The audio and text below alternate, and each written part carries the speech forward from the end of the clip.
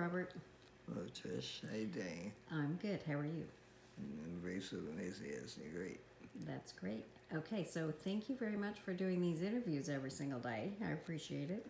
You're welcome, Trish. And we have a few more questions from people. You ready to answer a question?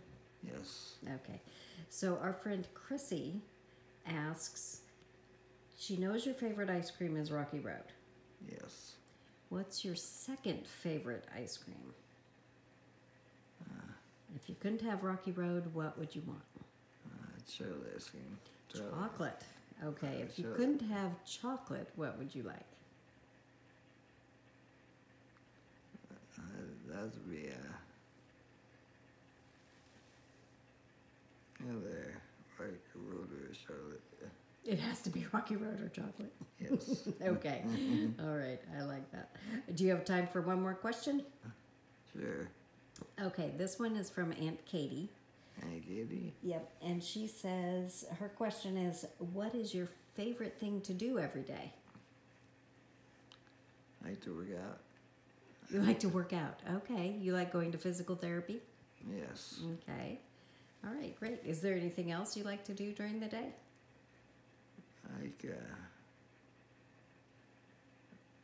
uh,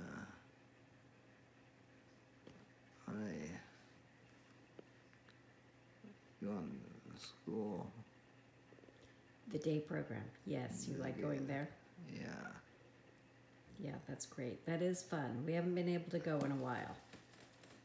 Yeah, there are times I can't, can't go there. Mm-hmm. I have a lot of great times when I go there. You have a lot of good friends there. Oh, yes. A, a lot of good friends out there. The day program. Great. Okay, well, thank you for answering the questions. You're welcome, Trish. All right, I will talk to you tomorrow. Okay. Actually, I'll talk to you later, but uh, the interview will be tomorrow. Okay. All right, bye bye. Bye, Trish. God bless you. You too.